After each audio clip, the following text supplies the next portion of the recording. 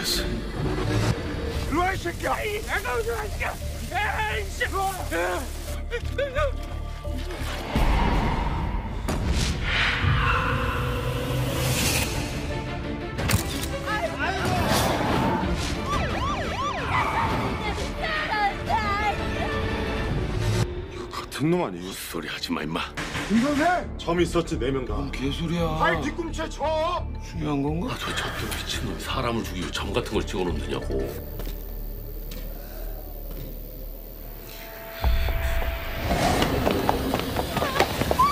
뒤꿈치에 점이 여섯 개 찍혀. 다섯 개가 아니라 여섯 개? 뭐? 하나가 비는데?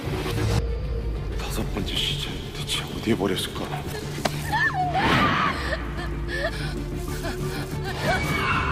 저놈이다.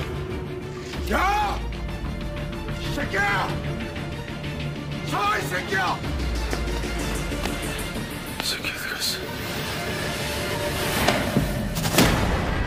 2016년이면 내가 30년을 뛰어넘었다는 얘긴데. 아는 데라고는 경찰서 말고는 없는데 갈 데가 없잖아 갈 데가.